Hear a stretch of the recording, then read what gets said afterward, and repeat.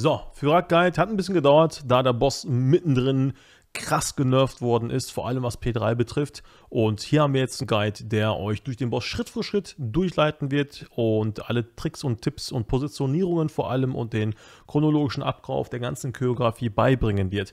Unten in der Kanalbeschreibung würde ich euch direkt empfehlen, wenn ihr diesen Guide guckt, als Vorbereitung auch den Raidplan zu öffnen, denn ich werde ganz viele Sachen erklären, die ihr zwischendurch mit dem Raidplan abgleichen könnt. Der ist extra darauf ausgelegt, dass ihr die Namen und äh, die Sachen, die ich gleich erklären werde, eins zu eins eintauschen könnt. Ähm, und habe dann dementsprechend spezifische Rein äh, Namen rausgenommen, bis auf ein Beispiel, auf das ich gleich eingehen werde. Und äh, das Einzige, was ihr im P1, bevor ihr pullt, beachten solltet, ist halt dieses ähm, Mondmark. Äh, bevor wir auf das eingehen, gehen wir erstmal auf generell den, äh, das Setup. Bei diesem Boss ist es wichtig, dass man zwei Tanks nimmt, obviously. Bei der Tankwahl ist es eigentlich ziemlich egal, was man nimmt mittlerweile. Das Empfehlenswerte ist auf jeden Fall, einen DK dabei zu haben. Der DK einfach nur aus den folgenden Gründen.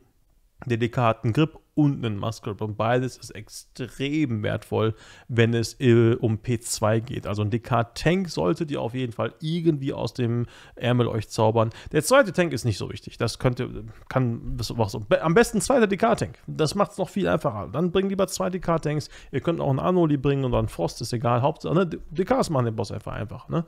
Ähm, bei den Heilern ist es auch nicht mehr wichtig, was dabei ist. Monk Tank ist gut, weil er halt wirklich guten Spot-Heal hat und wirklich extrem starken Burst Heal auf die Bäume, die man heilen muss. Aber mittlerweile ist auch nicht mehr das so wichtig, weil die wurden auch genervt und jeder Heiler sollte diesen Job schaffen. Nimmt eure vier normalen Heiler mit, die in eurem Kader sind und macht euch weniger Sorgen darum, wie der Heilkader aussieht. Ansonsten eine gesunde Mischung zwischen Ranges und DPS. Immunisationsklassen sind immer wieder gerne gesehen. Das ist äh, auf jeden Fall stark.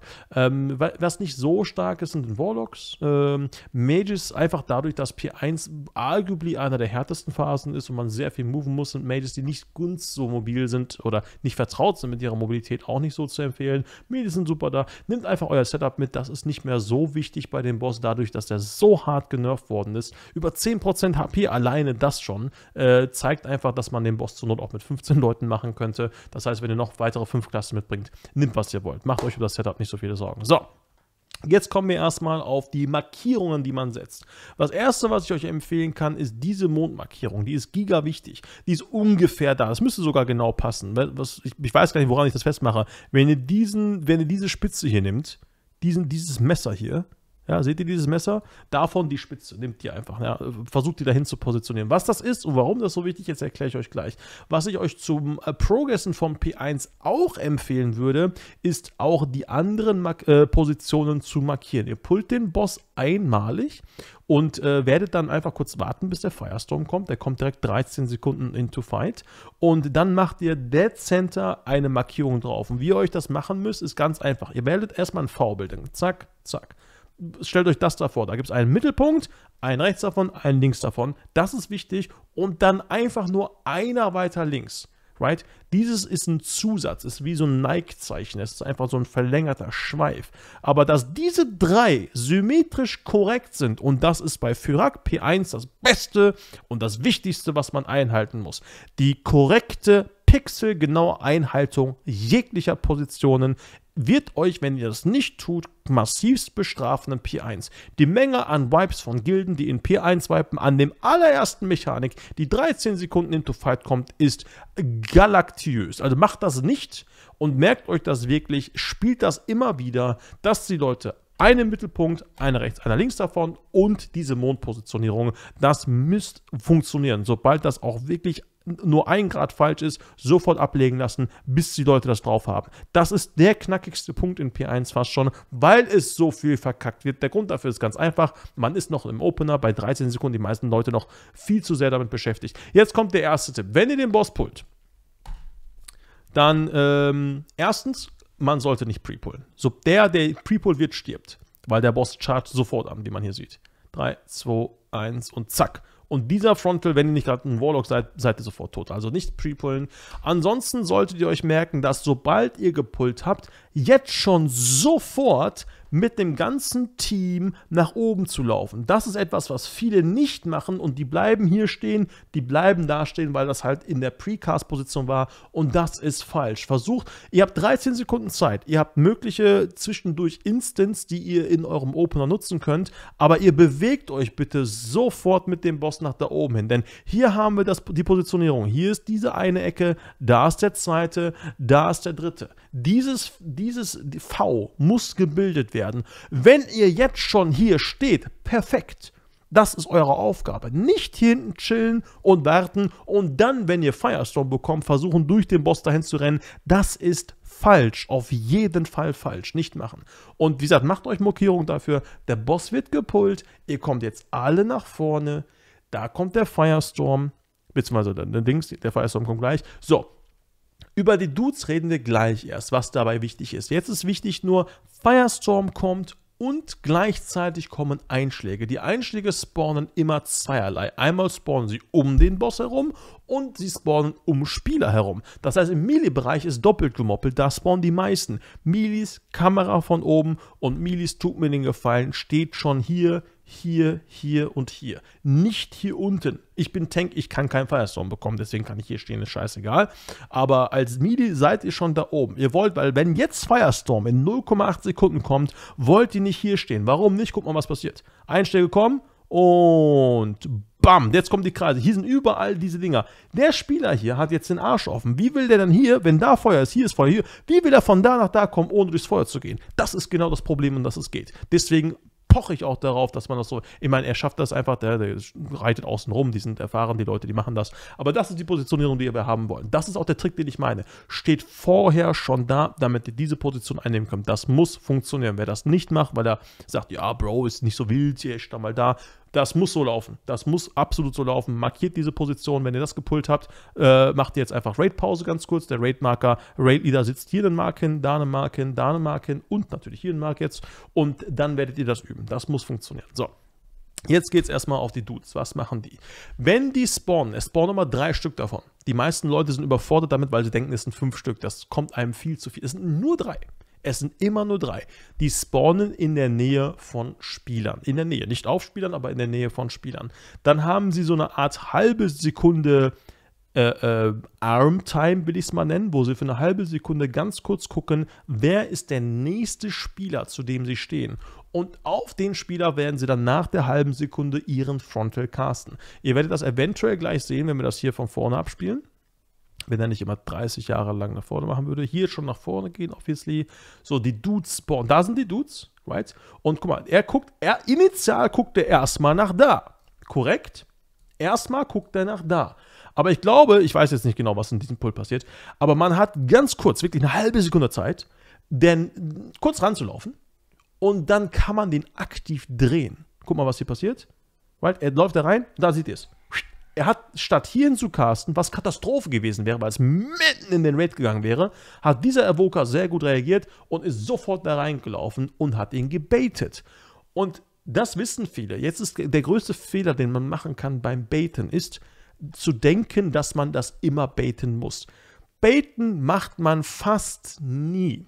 Lieber das Ding nicht baiten, denn die Gefahr ist zum Beispiel diese Spieler hier. Oh, fuck, da ist hinter mir ein Ad gespawnt. Ich laufe kurz hin. Das Problem ist, beim Hinlaufen machst du genau das, was du nicht machen darfst. Du bewegst dich vom Raid weg. Das heißt, der Boss guckt meistens in den Raid rein dadurch und ihr baitet oder beim Versuch zu baiten macht ihr genau das Gegenteil. Nicht baiten, außer das Ding spawnt wirklich direkt an eure Füße, dann könnt ihr den kurz rausdrehen. Ansonsten ignoriert die Dinger.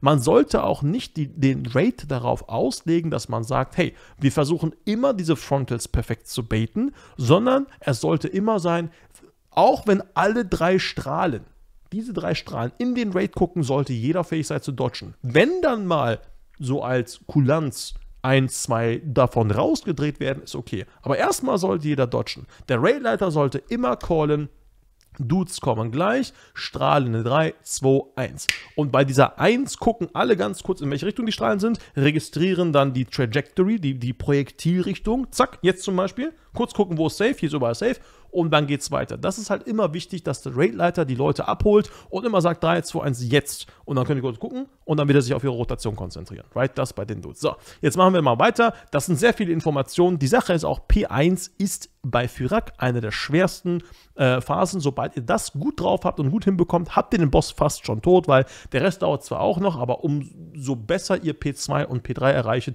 umso viel schneller werdet ihr den Boss töten, weil P2 und P3 sind gar nicht so schwer. So, hier nochmal, wie gesagt, die, die äh, vier Dinger.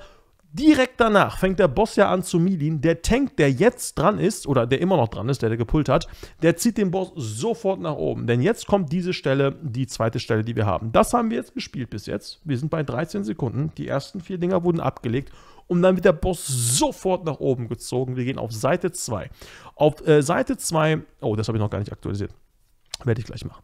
Ähm, auf Seite 2 haben wir hier die Mythic Soaks. Das ist eine neue Mechanik auf Mythic. Es werden einfach nur drei so eine Art Firestorms kommen, aber die muss man gemeinsam abfangen. Vorsicht, man darf nicht zwei gleichzeitig abfangen, sonst ist man tot, weil man erlittenen Schaden dadurch erhöht hat. Die Ausnahmen bilden Tanks. Die Tanks sind so tanky, dass sie dann auch in dem Zwischenschritt stehen können. Aber ansonsten, was ich machen werde oder was ihr machen solltet, ist einfach euer Raid aufzuteilen, right? Die Ranges, ne, die sollten auf C stehen, weil der Boss wird meistens zwischen A und B getankt und äh, dann gibt es ein paar Leute auf B und ein paar mobilere, vor allem die Midis auf A. Guckt einfach, dass ihr die Leute hinstellt und jetzt kommt der nächste Trick und das gucken wir uns in der Wort an. Also erstmal sofort rüberziehen, sofort rüber. Jetzt kommen die Dudes nochmal. Da sind die Dudes. 3, 2, 1, dodgen. Jetzt registrieren, wo die Dinger hingehen. Und das, sieht, das sehen die Leute meistens nicht. Der hier castet mitten durch den Raid. Jetzt ist nur, der castet weg, der ist egal.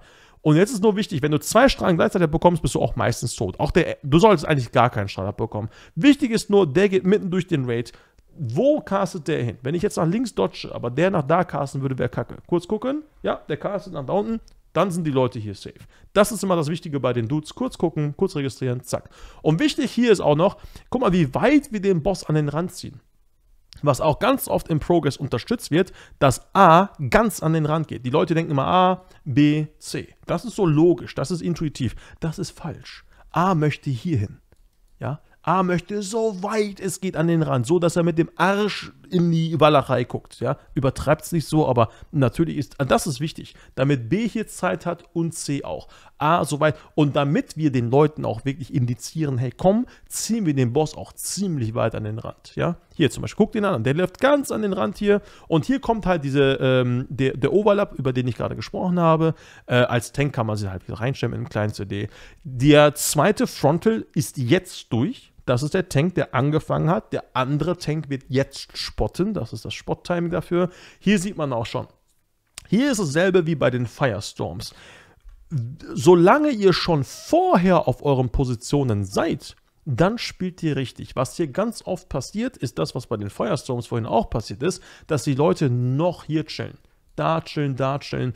Denn die Leute sagen, hey, ich bin in Gruppe C eingeteilt, ich komme von hier locker, ich mache noch ein, zwei Casts und dann laufe ich hier rein. Und das ist giga falsch. Denn was passiert denn, wenn du den Kreis hast?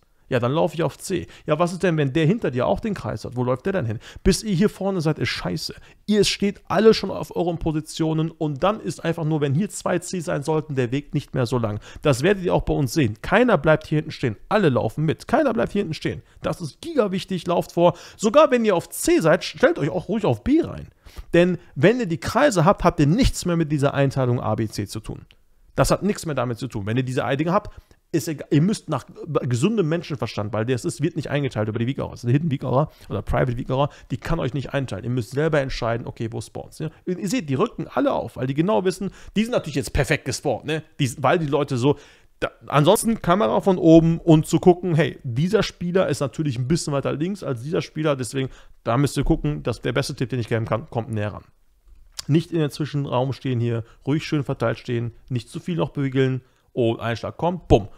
Das ist jetzt der zweite Effekt. Wenn ihr jetzt bis hier schon ohne Tote seid, perfekt. Jetzt wird der Boss gezogen, raus, raus, raus. Während immer, wenn der Boss gezogen wird, spreaden sich die Ranges nach außen, nach rechts und links, wie so Flügel, wie so Schmetterlingsflügel breiten sie sich auch. Ein paar Leute nach da, ein paar Leute nach da und auch ein paar Range-CDs nach da. Der Grund dafür ist, es kommt jetzt eine der zweitschwersten Übergänge und zwar Blazings mit Frontals und Firestorm gleichzeitig. Passt auf.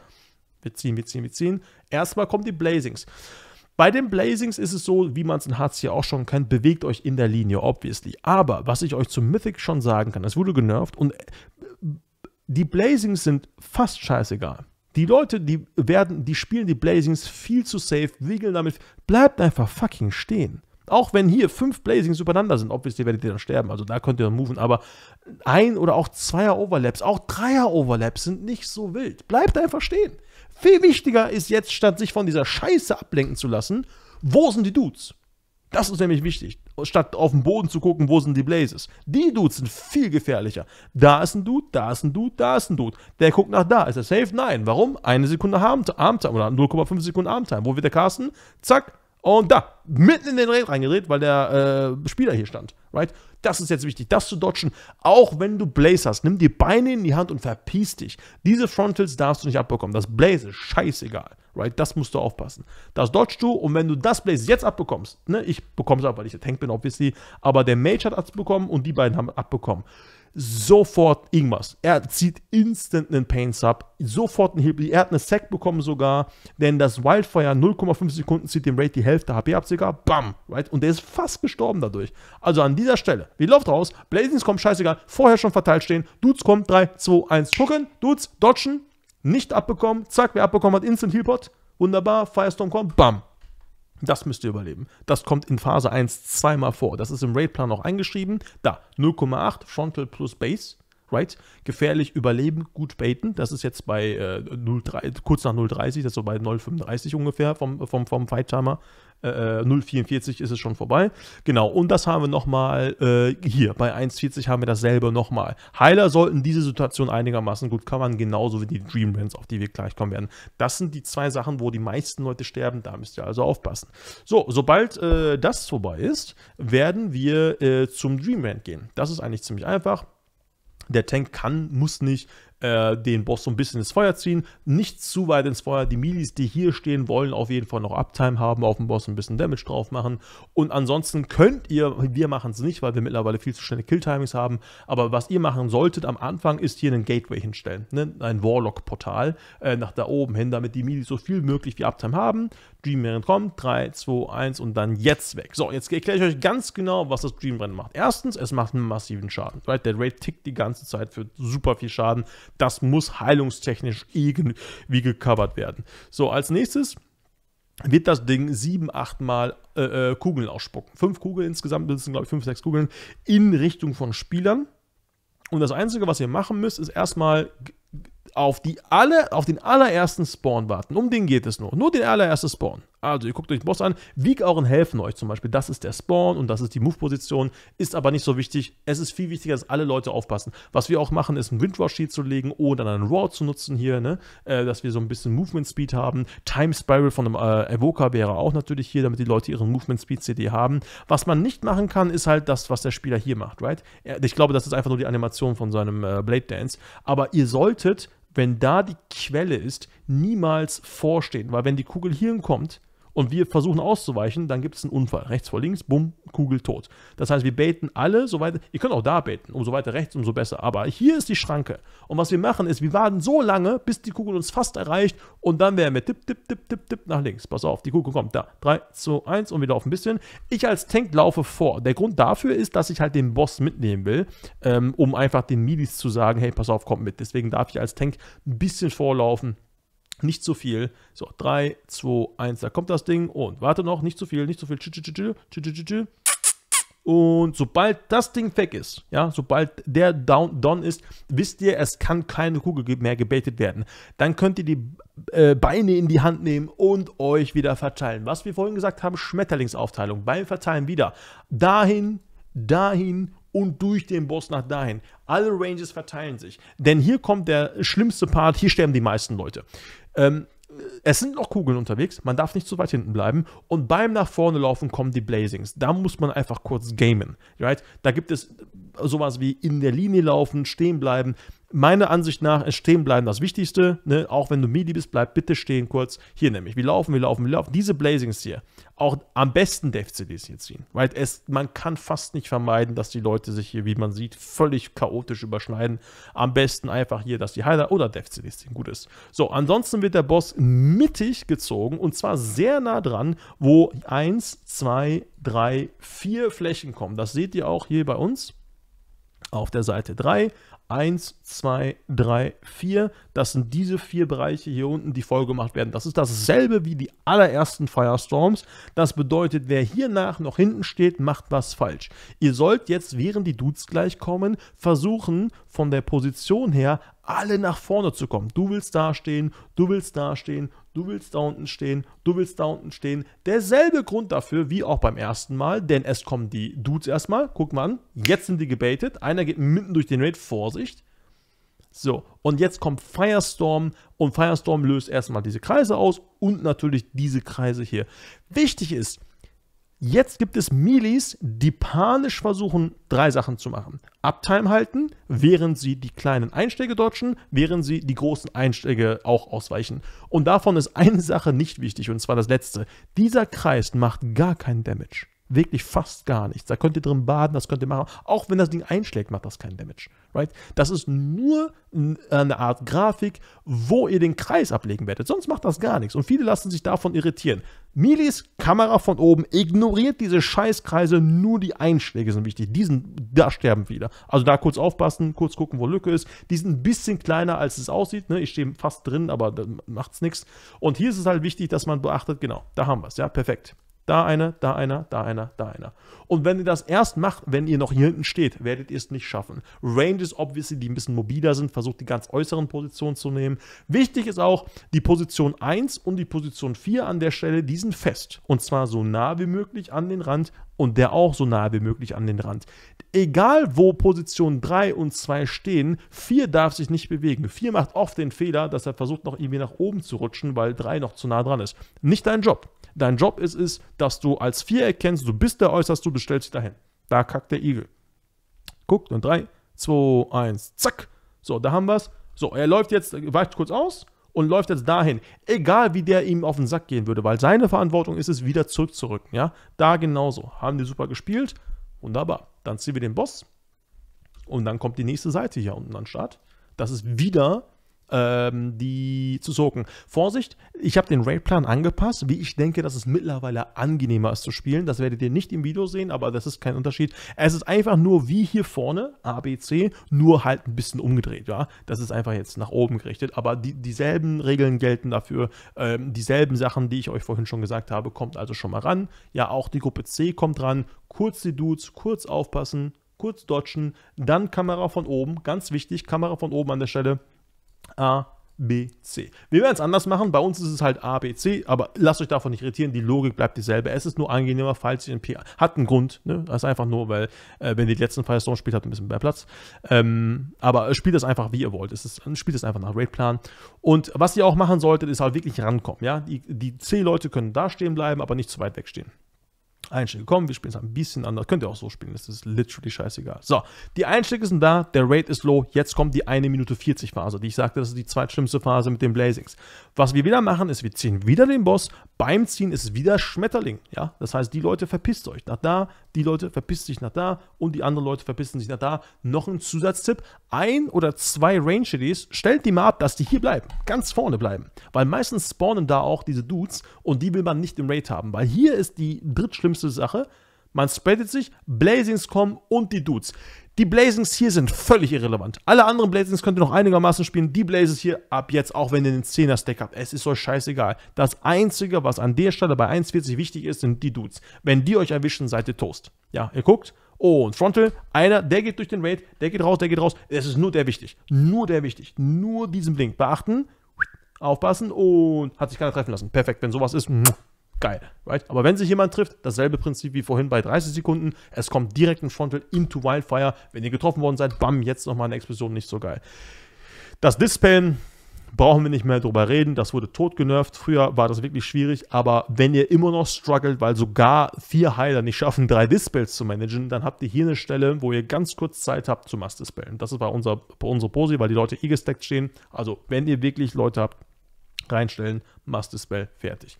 Selbes Prinzip nochmal, jetzt kommen wir auf die nächste Seite. Wir sind fast im Ende vom P1 und zwar hier, der Boss wird hier unten hingebaitet macht das Dreamland, alle laufen hoch und hat die letzte Wurzel, dieselbe Logik wie auch beim ersten Mal, nicht vorlaufen, nicht in die Laufrichtung schon mal stehen und dann warten und dann dort gemeinsam laufen. Und jetzt kommt die vierte Stelle, die auch Tote fordert. Ah, pass auf.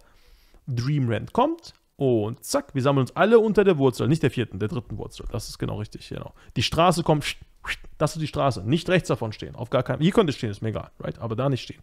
Ihr wartet hier, 3, 2, um das ein bisschen schneller, ja. Und wichtig ist, hier vor dem Boss entlang laufen. Es ist so wichtig, dass ihr nicht kacke baiten dürft, dass nicht mal der Tank, also nicht mal ich, äh, laufe vor. Das heißt, der Boss wird immer hinter uns laufen. Also ist hier die Initiative, dass die Milis auch sich vor dem Boss stellen. Also lauf vor dem Boss mit, vor dem Boss mit. Nicht, nicht hinter dem Boss. Kommt Immer vor dem Boss, vor dem. Weil ihr seht, die Kugeln sind so eng an dem Boss. Der Schwanz berührt die Kugel fast. Wenn ihr hinter dem Boss steht, seid ihr immer tot. Immer vor dem Boss, vor dem Boss. Fall of Damage, das ist die Balken, die wie auch habt ihr, ob die jetzt von Limited Redo, Kausis, wie auch immer, das sind aber dieselben. So, zack, Fall of Damage und jetzt wird gejietet. Ihr auch beim Mieten, wie immer, Schmetterling. Ja? Einer jietet nach da, einer jietet nach unten, einer jietet nach da, wie auch immer. Wir haben auch jemanden mit Spellbob, der bleibt hinten stehen, scheißegal. Äh, Spellbob, wenn ihr sowas habt, auf den Monk oder auf den Priester, weil die haben, am Rampen sind an der Stelle und dann Hardcast gebunden sind. Ähm, und ihr verteilt euch. Und das ist wichtig jetzt hier. Hier die Kamera. Der, dieses Blazing ist meistens das gefährlichste Blazing. Und ich habe ja immer gesagt, scheiß auf Blazings. Das ist das einzige Blazing-Set, das ihr wirklich gut spielen müsst. Weil es passiert nichts mehr. Das ist das Letzte, was passieren kann. Und ihr seid schon Low HP. Bei den ganzen anderen Sachen seid ihr nicht Low HP. Hier jetzt ein Doppelblazing zu bekommen, ist kacke. Kamera von oben, stehen bleiben, chillen.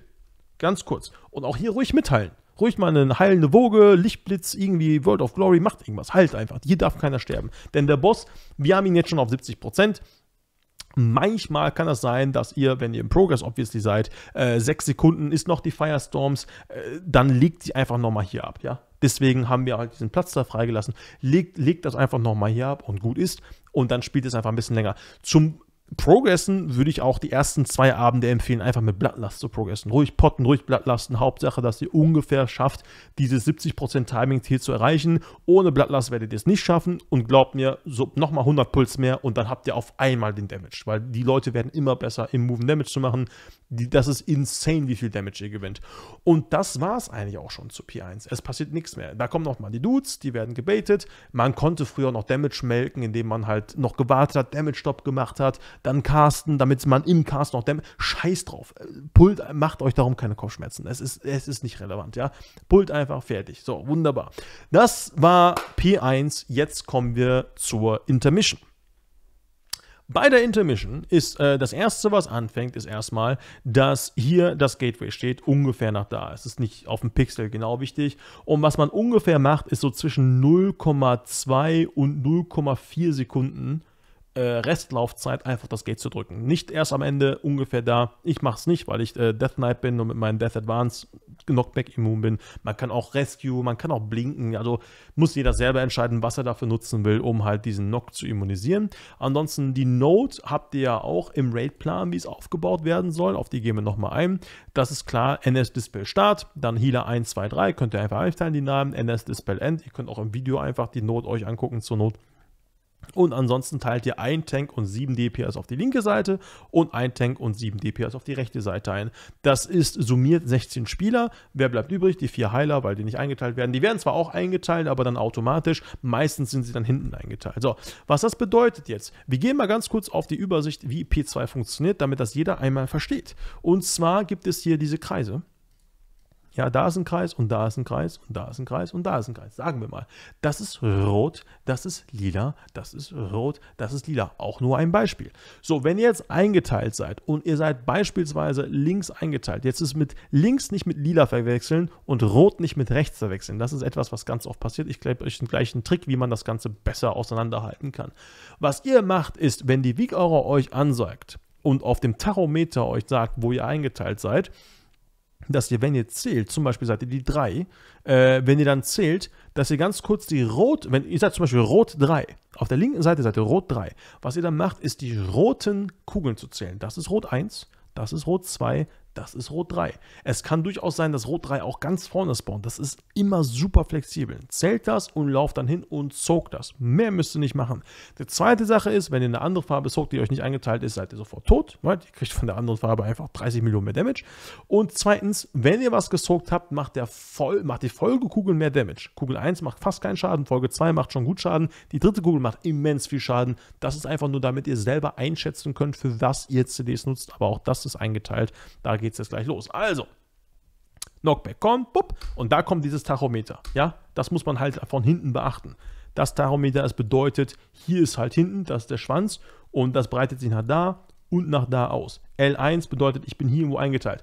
Was man dann machen kann, ist einfach, was ich immer gemacht habe, als ich als DD geprogressed habe, ähm, ist auf die Farbe meines Schildes zu gucken. Das hat mir am besten geholfen, weil dieses L1-Spam ist nicht permanent da. Das ist immer bing, bing, bing. Und was ich gucke, ich gucke auf das Schild. Aber du kannst auch hier oben hingucken, das ist rot. Du kannst in die Week auch gucken, das ist auch rot. Oder du guckst halt auf die Sage-Chat, das ist auch rot. Oder du guckst hier mitten auf den Bildschirm, da kommt eine fette Schriftzeichen, da steht Flame Orb statt Shadow Orb, das ist auch rot.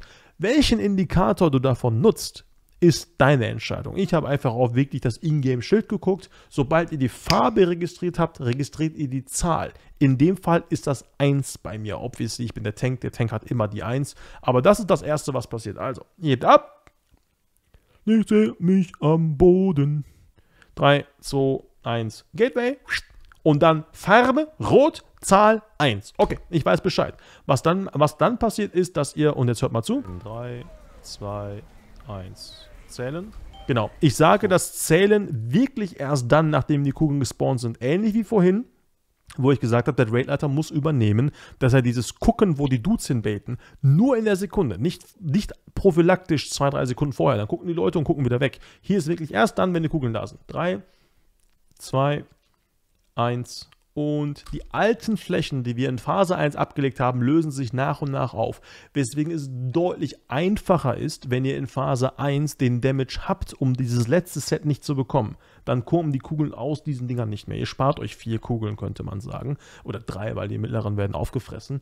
Ähm, und dementsprechend das als kleinen Tipp. Ansonsten einfach nur zählen. Also in dem Fall, der ist L1, lila, das ist seine Kugel. So, was ist noch da? Das ist jetzt L2, ja, das ist also auf der linken Seite die zweite rote. Das ist die erste rote, das ist die zweite rote. Vorsicht, das ist die dritte rote, da ist kein lila dazwischen. L3, das ist deiner. Super easy, muss man nur einmal gucken. Wichtig ist einfach, dass man dann immer wieder aufpasst. Wieder auf Position, 3, 2, 1, gucken zählen in Ruhe. Das ist rote Kugel 1, rote Kugel 2, rote Kugel 3, das ist lila Kugel 1, lila Kugel 2. Auf der anderen Seite genauso. Genauso, right? Und du hast immer mehr Leute, als du äh, äh, Kugel hast. Deswegen dürfte eigentlich kein durchkommen. Die, die größte Verwirrung findet immer zwischen ähm, Kugel 3, 4 und 5 statt. Vor allem 5, hintenrum. Hier sind die Heiler immer eingeteilt. Alle Heiler sind hier. Bei den Heilern würde ich gar nicht so großartig drauf achten. Zumindest nicht am Anfang. Am Ende ist es schon wichtig. Aber als Heiler, wenn ihr äh, lila seid, fangt einfach alle lila Kugeln ab, die einigermaßen drohen, in den Boss reinzugehen. Ja? Natürlich ist Zählen wichtig, aber bis 5 zu zählen als Heiler, der wirklich beschäftigt ist, den Raid halt zu heilen, ist nicht so einfach. Also einfach zogt irgendwas. Ne? Ist, ist fein. Gut. Und jetzt kommt die Sache. Das waren die zweiten Kugeln. Jetzt sobald die zweiten Kugeln drin sind, sofort verteilen, weil es kommt Blazings. Und diese Blazings hauen euch zu Scheiße. Deswegen zu den Blazings dicke Dev-CDs. Dev, ich call das auch jetzt gleich hier, pass auf. 2, 1, zählen. Soaken. Dann Max Range, Abstand miteinander. Dev-CDs jetzt. Dev-CDs jetzt. So, und jetzt, das sind die Blazings. Ihr, zählt, ihr guckt schon mal mit der Kamera das ist das dritte Set an Kugeln, aber ihr wartet noch. Ihr wartet, ob ihr Blazings bekommt und wenn ihr Blazings habt, dass ihr auf gar keinen Fall einen doppelten Overlap habt und einen dicken Death Ihr könnt schon mal zählen, lasst ihr einfach in euch reintreiben. Macht schön damit schon.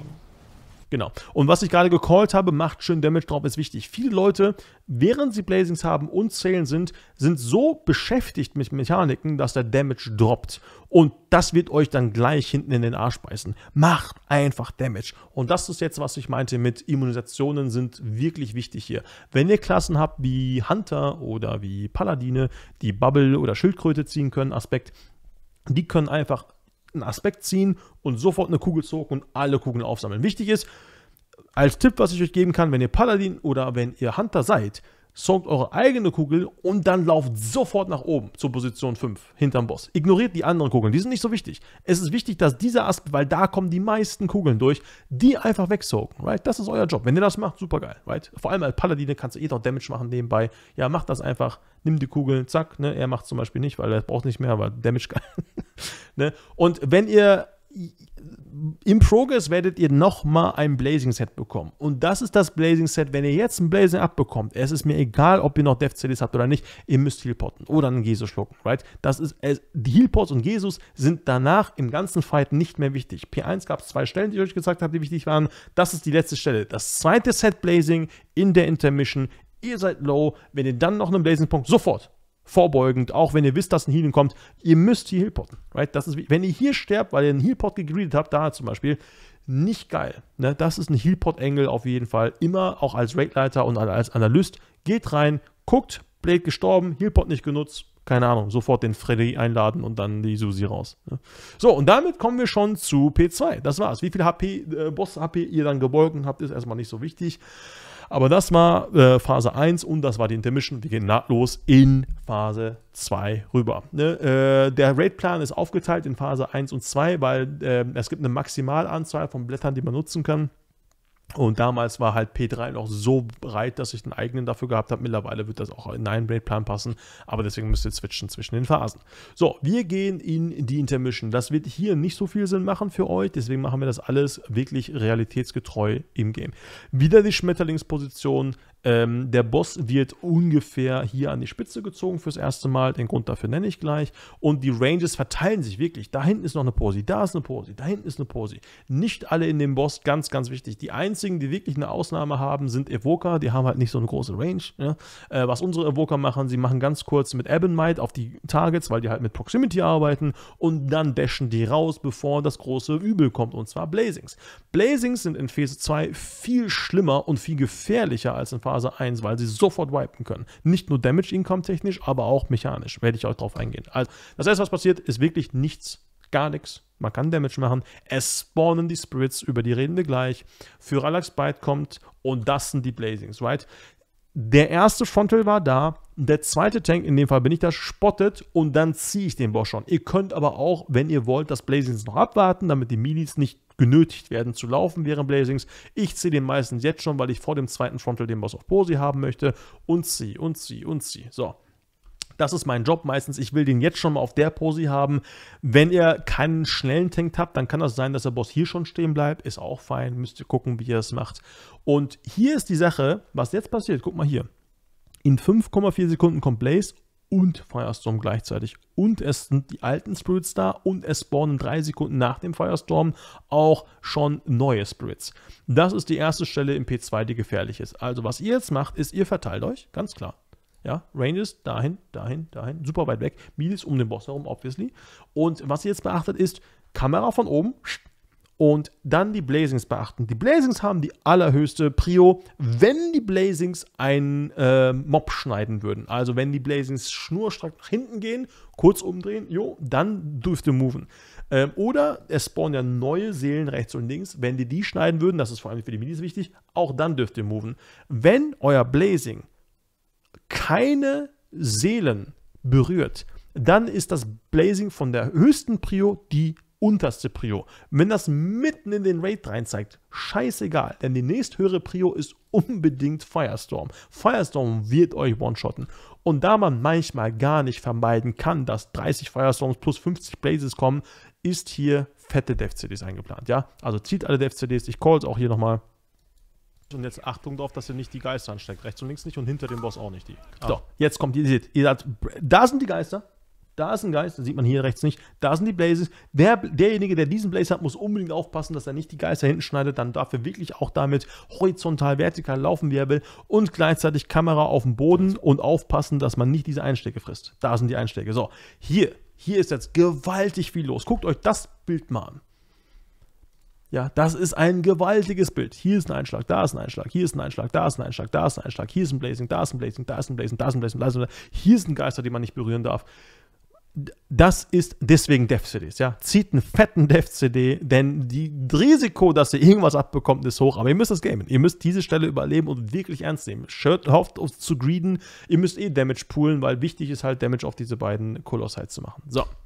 Wenn ihr das überlebt habt, sobald die Einschläge sich beruhigt haben, ist wichtig, jetzt zum Boss zu kommen.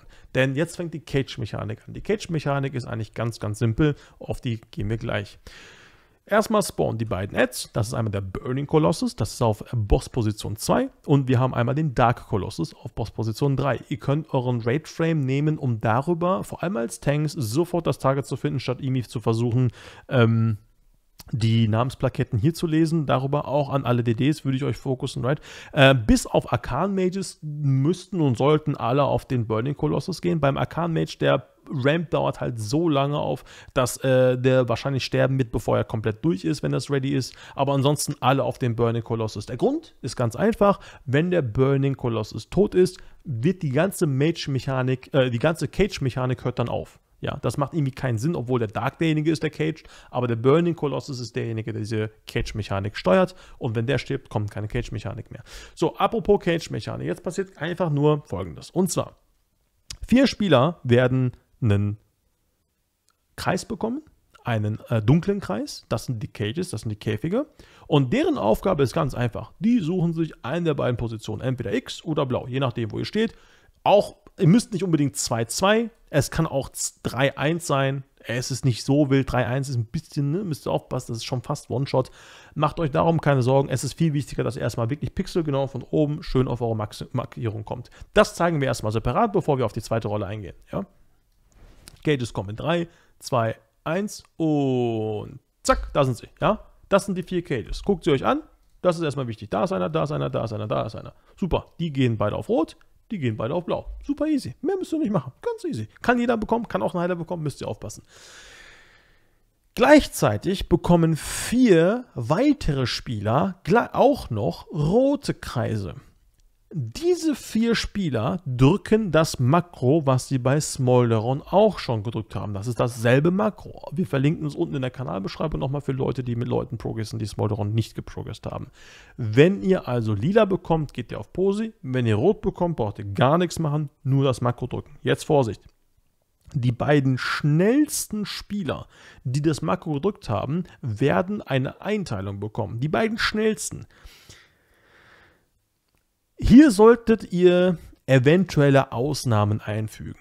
Es gibt Leute, die verlieren giga viel Schaden, wenn sie die ganze Zeit moven müssen. Das bedeutet, ich habe auch Ausnahmen verhängt, wo ich gesagt habe, hey, pass auf, wenn du den roten Kreis hast, brauchst du das Makro nicht unbedingt drücken oder wenn, dann super spät, dass die Wahrscheinlichkeit, dass du eingeteilt wirst, spät ist. Aber umso mehr Ausnahmen ihr verhängt, umso größer ist das Risiko, dass keiner das Makro drückt. Also drückt einfach das fucking Makro.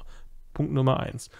Dann guckt ihr, ob ihr bei Rot oder bei Blau eingeteilt seid und lauft schon mal in die Nähe. Denn, und jetzt kommt drittens, und das ist die wichtigste Information, dieser Kreis macht gar nichts dass die Leute denken, das tickt die ganze Zeit für them. Das macht gar nichts. Läuft mitten in den Raid damit. Dieser Kreis ist scheißegal. Er macht nur beim Explodieren am Ende einmal Schaden. Das ist halt wichtig. Was viele halt falsch machen, ist, die stehen mit dem roten Kreis hier und dann wollen sie bis nach Rot laufen. Laufen mitten rein, stell dich mitten hier hin. Ist fein. So. Und was man wichtig auch noch beachtet ist, und ich mache das halt über diesen, diese Bar hier, Cages rausholen. Wir holen sie raus in 3, 2, 1. Rausholen. So, und das habt ihr gesehen, was jetzt X fast schon falsch gemacht hat. Habt ihr das gesehen? Er hat sich halt als X da vorne hingestellt und hat es fast nicht mehr geschafft. Ihr habt aber wirklich lange Zeit. Ne? Also, blaue Markierungen kommen, rote, da ist jetzt Break X, da ist Blake, äh, Blake, Break Blau. X muss halt gewaltig aufpassen, denn die Cages werden in 1,5 Sekunden gearmt. Das heißt, er wird dann in die Luft geschleudert, deswegen muss er außen rum.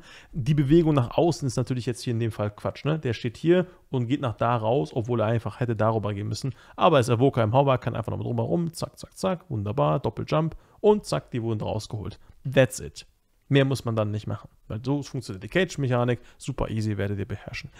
Jetzt kommen wir zu wahrscheinlich das ikonischste, was in P2 passiert, und zwar die Ads. Bevor wir zu den Ads gehen, sei gesagt, hier kommt nochmal eine Stelle, die wirklich juicy ist. Und zwar wieder Blazes. Ich habe gesagt, Blazes in P2 sind übel. Ihr habt zwar vorhin schon dicke Death-CDs gezogen, äh, um dieses Blazings plus Firestorm zu überleben. Wenn ihr eine Klasse seid, die jetzt noch einen CD hat und viele Klassen haben noch einen zweiten CD oder irgendeinen Support-Spell zum Heilen, dann nutzt den hier, weil die Blazings hier sind super wichtig, weil hier auch kann man nicht ganz ausschließen, dass man ein oder zwei Blazings abbekommt, einfach weil man erstens einen Job zu tun hat, man muss halt knocken, kicken, interrupten und zweitens, weil man teilweise auch last second moven muss, weil während die Blazes kommen, spawnen schon wieder Geister. Da haben wir wieder die fünf Geister und hier haben wir wieder den Baum und Blazings kommen jetzt. Right? Da ist ein Blazing, ich habe ein Blazing hier, guck, es guckt mitten in den Boss rein, und da muss man halt aufpassen. Deswegen kann es durchaus passieren, dass Leute noch last second moven. Und hier noch ein CD zu ziehen ist wichtig. Ansonsten gehen wir erstmal ganz kurz auf die Einteilung hier ein. Und zwar, wie das hier funktioniert. Ich habe euch unsere damalige Einteilung, die wir eigentlich immer noch nutzen, ähm, hier ähm, namentlich mal drin gelassen, bis auf den, das muss ich wieder einfügen, dass ihr einfach nur ein Beispiel habt. Ne? Das ist, hier steht auch Beispieleinteilung, damit ihr das entweder kopieren oder ungefähr davon ableiten könnt. Jetzt gibt es auch begriffliche Unterschiede zwischen Knocken und Kicken. Right? Knocken sind alle Sachen, die so grippen, Displacement, right? Alles, was knockt, alles, was die Mobs bewegt, sind Knocks. Und Kicken ist interrupten. Und da gibt es einen Unterschied, denn die Äußersten müssen genockt werden, die müssen reingenockt werden in die Mitte. Ne, fünf davon links, fünf davon rechts, elf in der Summe. Und die anderen müssen nur gekickt werden. Warum? Die sind doch immobil. Warum sollten die gekickt werden? Der Grund ist, wenn die Casts die ganze durchcasten, stirbt der Raid. Das macht gewaltig Schaden. Deswegen ist es so wichtig, dass man die interruptet. Und wenn ihr kaut, kick, kick, kick, kick, kick, dann ist damit nicht der Knock gemeint. Kickt die einfach. Ihr seid auch eingeteilt zum Kicken. Ne? Ähm, aber wie wir das machen ist, ich bin der DK, ich habe nur einen äh, Grip eingeteilt. Die meisten teilen beides ein, damit sie einfach sich den zweiten teilen. Was ich mal äh, gemacht habe gerne, ist trotzdem nur einen Grip eingeteilen, weil meistens laufen die Kicks nicht gut. Irgendeiner wird immer scheiße kicken und dieser Ersatzgrip ist dann dafür da, damit man sie alle mehr oder weniger äh, in Range hat. So, an den DK, hier gibt es natürlich jetzt den Tipp, äh, den Gorfiends Grasp auf sich selber nutzen. Man, sich, man positioniert sich selber im Zentrum ne, von oben gucken und dann benutzt man es auf sich. Jetzt muss die Erfahrenheit des DKs so ein bisschen äh, eine Rolle spielen, dass ihr ungefähr einschätzen könnt. Ich glaube, hier war es sogar richtig ass, wie wir gegrippt haben, weil die Leute nicht in Range waren. So, hier seht ihr zum Beispiel diesen all over Da ist noch ein Bug. Und jetzt gucke ich natürlich, der ist noch nicht in Range. Das reicht nicht aus. Ne? Also, wenn ich hier grippe, der wird nicht mitgegrippt werden, der wird nicht gegrippt werden. Und dann guckt man einfach, dass man sagt, okay, scheiß auf die beiden. Ich wähle einen Kreis und werde mich in die Mitte davon stellen, dass ich wenigstens die habe. Ist da halt schief gelaufen, den habe ich dann noch gegrippt, zack, ich grip sie, der dann bleibt übrig, ist fein, right? Meistens geht es aber wirklich mit der Einteilung gut, in dem Fall nicht. So, der Dark Colossus, der, der Burning Colossus ist gestorben, aber ähm, es kommen, meist, meistens kommen hier nochmal die roten Kreise. Wichtig ist, ich hatte ja vorhin gesagt, die roten Kreise sind scheißegal, außer sie explodieren natürlich nicht im Raid explodieren, aber was viele Leute unterschätzen, wenn sie den roten Kreis haben, laufen sie hier raus, und stecken dann diese Geister an. Das dürft ihr auch nicht machen. Mit den roten Kreisern auf gar keinen Fall in den Geistern explodieren. Die kriegen davon massiven Schaden. Das kriegen die Heiler nicht weggeheilt. Müsst ihr aufpassen. So, ab jetzt, wer hier noch paddet, Strafe. Der Dark Colossus ist es, bis da die Cage-Mechanik kommt, ist schon lange tot. Das Einzige, was hier passiert, ist Ressourcen sparen, Mana sparen und Puden. Ja, dass ihr wirklich auf dem Boss wieder so viel Damage wie möglich machen könnt. Hier hinten haben wir noch eine Screaming Soul, die grippe ich einfach ran. Machen wir einfach Damage drauf. Kickt es nebenbei, aber macht da kein Damage drauf. Das Ding ist so egal. Nur zwischendurch interrupten, ansonsten voll auf den Boss konzentrieren. Wir haben wieder Geister hier oben und was wir hier haben, ist ein Blazing. Dieses Blazing wird auch nochmal gefährlich. Erstens, also ich brauche gar kein Death hier ziehen. Es ist nur wichtig, dass ihr die Geister da oben nicht schneidet, ja? Zack, zack, wunderbar. Keiner schneidet die Geister da oben, perfekt. Dann kommt noch ein Frontal. Normalerweise nimmt den der andere Tank, aber an der Stelle, weil die K bastet ist, habe ich einfach den Frontal schon hier genommen, damit dann, äh, nee, äh, doch, ja genau, damit das eine 1 zu 2 Einteilung ist, statt eine 2 zu 1 Einteilung ist, müsst ihr nach Tanks entscheiden, was wichtig ist. So, hier gibt es noch einen kleinen Trick. Wir haben wieder dieselbe Situation wie vorhin. Wir haben wieder die Ausgangsposition mit den Cages, mit dem Firestorm, mit den Blazings. Die Sache ist nur, dass die Geister jetzt entweder links oder rechts spawnen werden. Das sieht man schon vorher, wo die spawnen werden. Was ich also sage ist, hey, guckt jetzt schon mal, wo rot und blau ist. Weil wenn ich jetzt gleich calle, blau ist safe und die Leute müssen erst gucken, wo ist blau und dann zu laufen, ist, dauert zu lange. Jetzt schon mal gucken, wo blau und rot ist, dann wieder auf seine Sachen konzentrieren, auf meine Stimme konzentrieren. Und dann. Ihr müsst einfach nur dodgen, actually. Ich habe es nicht gegollt. Genau, viel zu spät eigentlich, ne? Aber ihr habt schon gesehen. Ihr seht das äh, da. Ja. Jetzt seht ihr schon 3,5 Sekunden bevor die Blaze-Mechanik kommt, wo die spawnen werden. Das heißt, wenn ihr euch alle nach, nach da verzieht, dann ist ihr, ihr könnt ihr überall stehen, wo ihr wollt. Da sind keine Geister in der Nähe. Aber ihr könnt auch Gigagamer sein. Ihr könnt auch, wenn ihr wollt, extra nach da laufen. Der Vorteil ist, dass ihr hier die Density, die Dichte von den Blazings ein bisschen entschärft. Da besteht aber das Risiko, dass euer Strahl in die Ads geht. Da müsst ihr halt ein bisschen mobiler sein. Ne? Also Hunter, BM Hunter, Ihr seid super mobil. Wenn ihr wollt, bleibt er in dem Risikobereich stehen. Nicht zu viele, obviously. Und guckt, dass ihr dann eventuell den Leuten da nicht auf den Sack geht. Also verteilt euch einfach nur. Ne? Und hier ist wichtig, jetzt kommt wieder Blazes plus Einschläge. Das ist dieselbe Situation, die wir vorhin auch hatten. Erinnert ihr euch? Wo wir Kreise hatten plus Blazes, wie auch immer. Beim ersten Mal hatten wir alle Dev-CDs, hier gar keine Dev-CDs ziehen. Die Leute sind eigentlich safe und die Leute können moven, wie sie wollen, ohne Geister zu schneiden. Das ist der große Unterschied zwischen dem ersten Blazing-Set. Deswegen hier keine Dev-CDs ziehen, denn wir brauchen die Dev-CDs ganz, ganz wichtig gleich. Es kommen nochmal die Ads, nochmal wird collapsed, nochmal wird darauf konzentriert, Cage-Mechanik kommt. Blaue Kreise auf Position X oder Blau in 3, 2, 1, blaue Kreise. Makro drücken, wir holen sie raus in 3, 2, 1. Rein da, rausholen. Wunderbar, tippitoppi. Und jetzt kommen nämlich der große Unterschied auch zu der Phase vorhin. Es kommen drei fette Bäume. Da oben spawnt ein Baum, hinter mir spawnt ein Baum und links spawnt auch ein Baum.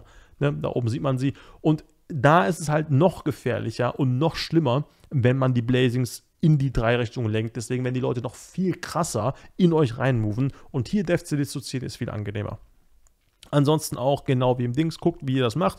In dem Falle äh, ist ähm, Gorfins Grams nicht ready. Wenn ihr einen Heiler Paladin habt, dann kann er Blessing of Autumn dem äh, DK geben, also äh, Segen des Herbstes oder wie auch immer. Dann ist es ready bis hier, aber einfach nur Grippy Hands, also die Abo-Limp aufsparen und dann sollten die Ads auch gehen hier einfach nur interrupten, ja, das interrupten, interrupten, ihr braucht die nicht mehr kicken, knocken, einfach nur interrupten und dann die Abo-Limp von einem DK, ob es jetzt ein DD-DK ist oder ein Tank-DK, scheißegal, die wird den Rest übernehmen, aber wie ihr seht, in drei Sekunden ist Gorfins Grasp schon wieder ready, was ich also mache, ist, nehme den die, zack, grip, grip die nochmal rein, dass das schön nochmal äh, im Cleave ist, aber das ist die zweite Mechanik, wie man mit den Ads klarkommt, ist wirklich nicht schwer, es macht Spaß, es ist eine lustige Klasse, guckt einfach, redet miteinander, es ist nicht in Stein gemeißelt, wie genau ihr das spielt, müsst einfach gucken, welche Kapazitäten, welche Nox, welche Typhoons ihr habt und wie auch immer, welche Klasse was machen will. Es gibt so viele Klassen, ähm, die arbeiten können damit. Also macht einfach, was ihr mögt.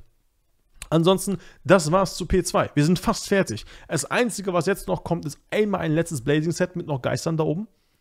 Ja, da müsst ihr aufpassen. Sobald die durch sind, ist der Boss 35 Sekunden lang passiert gar nichts. Hier könnt ihr richtig Damage machen. Wir haben sogar richtig schlechten Damage. Ne? 48% ist richtig bad, right? Äh, wir halten, weil wir halt keinen Vantos genutzt haben. Wir haben vergessen, Vantos zu nutzen in den Recall hier. Und äh, deswegen ist das halt also wirklich, wirklich schlecht. Normalerweise ist das ein bisschen besser dabei. Und äh, das seht ihr auch hier oben. Also das war das Set 1. Dann äh, nochmal die Ads fokussieren. Das ist das Set 2. Dann haben wir hier die Möglichkeiten, ähm, die Ads zu grippen. Ja, das dritte Ad auf das zweite Ad zu, äh, das zweite Ad auf das dritte Ad zu grippen, damit äh, die Blazings nicht ein Risiko haben, da reinzugehen und vor allem, damit die zwei Mobs ineinander liegen, damit irgendwelche Cleave-Heilungen funktionieren. Äh, wichtiger Tipp noch, den ich geben kann, ist, wo ist der gewesen? Sekunde bitte. Ähm, Genau, hier bei den Druiden. Der, wenn ihr einen Druiden im Raid habt, dann sollte er immer, wenn Geister spawnen, einfach sich selber MDW buffen. Dann äh, sollte er die Geister in Range haben, die kriegen auch MDW ab und heilen dann Amir Drasil um 5% mehr. Das heißt, ihr dürft bis zu 5% Heilung slacken, die dadurch kompensiert werden, ist leider die Aufgabe. Es spawnen, glaube ich, wie viele Wellen? Vier Wellen oder so an Geistern oder fünf, also maximal vier, fünf GCDs muss der Druide nutzen. Ich weiß nicht, ob es der Tank bei euch ist oder der Heiler oder wie auch immer. Katze, nutzt, machst es einfach, ja, nicht vergessen, gut ist. Entschuldigung, und das war's zu Phase 2. Und damit kommen wir zu Phase 3, was eigentlich fast dieselbe Länge nochmal in Anspruch genommen hätte. Aber Phase 3 ist so hart genervt worden, dass das, sobald ihr die Phase erreicht, wahrscheinlich der Boss sofort stirbt, wenn ihr diesen Guide zuguckt. Also hier nochmal Damage machen, verteilt stehen, nichts los, alles gut. Knock-up kommt und wir sind in Phase 3. Jetzt kommt es ein bisschen auf CD-Management an. Wir haben uns entschieden, dass wir einfach immer CDs auf Cooldown ziehen. Die ziehen zum Pull alle CDs, 2 Minuten CDs, dann direkt in der Intermission, right? Wenn das Schild kommt, ziehen wir auch nochmal CDs, dann bei 4 Minuten, 4 Minuten 15 nochmal alle CDs. Das ist dann wahrscheinlich auf die Ads.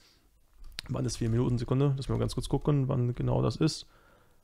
Ja, Ja, hier, wenn der Boss wieder runterkommt, ja. 4 Minuten 16, da ist der Boss, jetzt nochmal CDs ziehen. Ja, das ist der Zeitpunkt, nochmal schön 2 Minuten CDs zu ziehen. Und dann, sobald der Boss äh, in P3 landet, ganz frisch, zack, haben wir 6 Minuten 15, 6 Minuten 20, Blattlast. An der Stelle mit nochmal 2 Minuten CDs und Yalla, gib.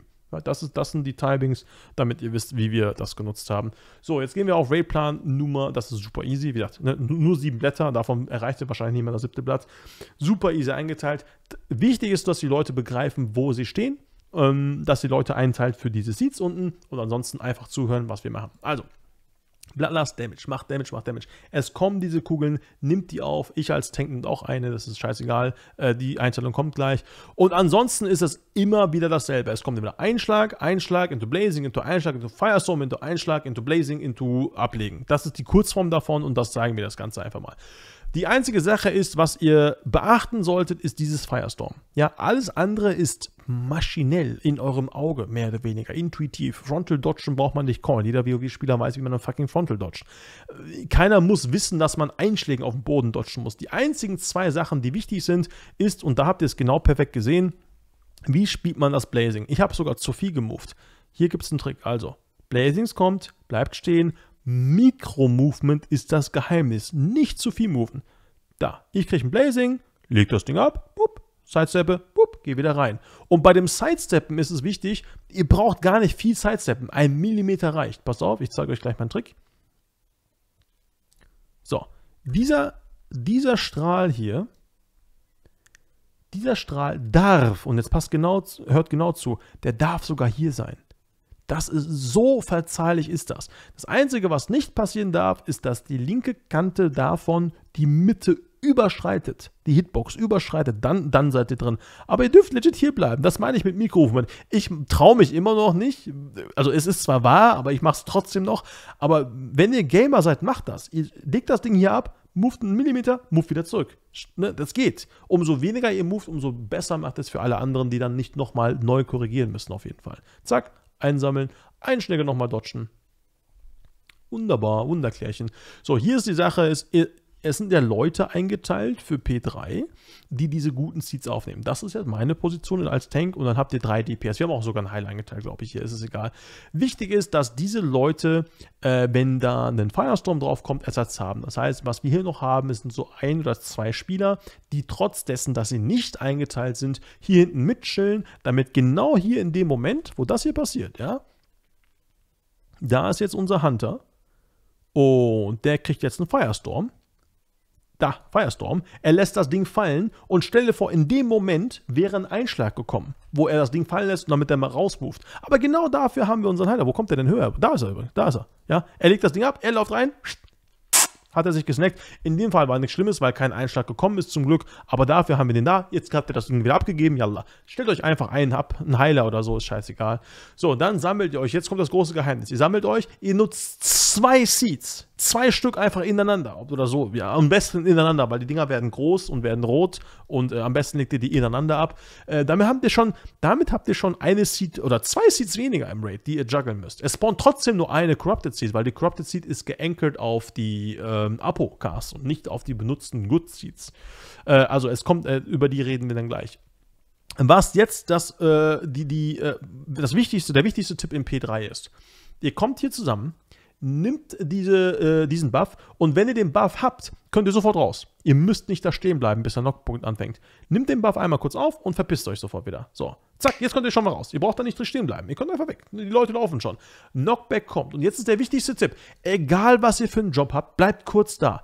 Zwei Einschläge lang in Heal Range bleiben, damit nur ein Heiler mehr oder weniger den ganzen Raid toppen kann. So, ihr bleibt alle in Heal Range. Auch die Leute mit Bad Seeds, die guten Seeds, alle bleiben da. Einschlag Nummer 1 und Einschlag Nummer 2 und dann könnt ihr euch verteilen, right? Guck mal, der Raid tickt einfach noch mit dem Debuff von dem Apo. Und wenn ihr jetzt schon euch nach Uganda verpisst, dann haben die Leute euch nicht in Rage. Und da kommt der zweite Einschlag und mit dem zweiten Einschlag droppt der Debuff. Und dann habt ihr alle Zeit der Welt, dann könnt ihr verteilen. Verteilt euch danach. Das ist der größte Tipp, den ich euch geben kann. Bleibt in der Nähe, bis zwei Einschläge da sind. Easy peasy. Und dann verteilt ihr euch. Dann kommt die erste Seed. So, und da gehen wir mal ganz kurz drauf ein wie das bei dem hier funktioniert. Okay, das können wir erstmal hier wegmachen. Maschallah. das können wir rausschneiden, wahrscheinlich nicht, aber ähm, Die Sache ist, es kommt halt hier, sobald die Apo, hier sehen wir zum Beispiel, right? Wir haben die vier guten Seeds. Hier an der Stelle haben wir dann das, die Tank Seed, die ich halt in dem Fall hatte, und eine DPS Seed. Einfach die beiden Jungs haben wir dann eingeteilt, äh, die das dann einsammeln. Dann wird durchgemoved auf die andere Seite. Und dann kommt direkt auch hier unten schon eine äh, Corrupted Seed, eine korrumpierte, äh, ein korrumpierter Samen, wie auch immer. Äh, und das nimmt einfach der andere Tank auf, der ganz am Anfang den Boss hatte. Der an, also der Tank, der halt die gute Seed hatte, spottet in dem Fall ab. Die Tanks werden immer nur zu jeder Apo wechseln. Das ist zwar ein bisschen viel Damage, aber es reicht vollkommen. Und die anderen können auch einfach zu jeder Apo einmal wechseln. Das ist überhaupt kein Thema. Tank nimmt auf, easy peasy, stellt sich einfach neben mich, gut ist, alles froh, alles äh, Friede, Freude, Eierkuchen. Und das passiert auch hier, ja. Die gute Seed kommt, zack, da ist er, das ist mein Partner. Dann kommt Firestorm, wieder Mikro-Movements mit den Strahlen, nicht zu viel, er macht es auch, zack, zack, aufgesammelt, wunderbar nochmal Einschläge, nochmal Blazings. Und also Achtung, nach den CDs, nachdem wie die Synergien laufen, ist dieses zweite Blazing-Set in das zweite Mal, kurz vor der zweiten Abo, aus irgendeinem Grund das gefährlichste. Ich würde euch hier empfehlen, Death-CDs zu ziehen obwohl das eigentlich ein super angenehmer Blazing ist, zieht einfach hier Dev-CDs. Zu diesem Blazing, dieses Blazing-Set, einfach zu F-CDs ziehen. Die Heiler werden es euch danken, weil die CDs werden dann wieder ready. Wir sind ungefähr so 1,40 into Phase oder, oder 1,30 into Phase und dann werden die CDs wieder ready. Ja, da einfach Dev-CDs ziehen. Hier findet übrigens der äh, Drop statt. Ja, ich bin der aktive Tank. Und ihr könnt jetzt schon swappen, weil es ist nur der Moor, der diesen Feuerschaden macht, der die Seed zum Explodieren bringt. Ihr könnt dann schon swappen, dann baut das nicht so knapp machen wie bei mir. Da hat mein Coating wirklich sehr spät gedroppt. Da hat dieser Einschlag, er kann jetzt schon droppen eigentlich beim Laufen. Ich laufe, ich laufe, ich laufe, zack, muss er wieder zurücklaufen, schnell rein. Und jetzt kommt das Movement. Einfach runterziehen, runterziehen, runterziehen, runterziehen. Weg von dem Boss. Wieder. Wichtig ist, Ne, Entschuldigung, das mit der Runterziehung gleich. Wichtig ist wieder, was wir vorhin gesagt haben. Bleibt in der Nähe. Der ganze Raid tickt noch mit dem Dot. Erster Einschlag, jetzt kommt der zweite, da ist der zweite, jetzt könnt ihr euch wieder weg. Weil dann in dem Moment ist auch der Dot weg. Und der Boss ist dann ungefähr nur noch schon bei 15%. Wahrscheinlich bei euch niedriger, weil ihr halt mit Vanto spielen werdet hier. Ähm, und ansonsten dasselbe Prinzip. Firestorm kommt, Mikro-Movements. Und ab jetzt ist einfach nur noch den Boss töten. Es kann nichts mehr passieren. Das Einzige, was man beachten muss, dass die Tanks hier nicht sterben, weil diese Moors selber machen einen guten Hit. Und ihr seht auch schon, man tickt extrem hoch mit dem Seed auf dem Kopf. Ich habe jetzt schon 20 Stacks, 21 Stacks und meine HP geht schon gut in den Keller. Äh, also Tanks, unterschätzt bitte nicht diesen Fight. Hier haben wir zwei Leute verloren. Wir sammeln uns ein letztes Mal nochmal hier. Das ist die Stelle, die ich meinte. Jetzt den Boss wirklich weit runterziehen, weil diese Fläche wird groß. Und man unterschätzt, wie, viel, wie groß diese Fläche da hinten geht. Deswegen ziehe ich unter. Erster Einschlag, dann warten wir noch. Und zweiter Einschlag kommt jetzt, jetzt könnt ihr euch verteilen, ich drehe den Boss erst danach um, weil wenn ich während der Einschläge den Boss jetzt umdrehe und der mit seinen fetten Flügeln wie so ein Flugzeug über den Einschlägen sitzt, ja, ich ziehe noch ein bisschen, das war der zweite Einschlag, jetzt gibt es nichts mehr, jetzt laufe ich durch den Boss durch, drehe ihn um, alle anderen brauchen in der Zeit nicht äh, auf diese Einschläge achten. Und dann ist der Boss bei zwei, hier ist der Boss tot, ja, das war's. Dann habt ihr Fyrak, viel Erfolg auf jeden Fall, GZ an alle diejenigen, die CE haben, GZ an die Leute, die das Mount bekommen, ich wünsche euch viel Spaß, ich hoffe, ihr habt damit deutlich mehr Erfolg bei Fyrak CE.